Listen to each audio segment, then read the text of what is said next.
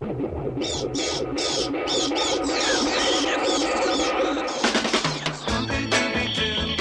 are you? I cannot sleep, I cannot dream tonight. I need somebody and always.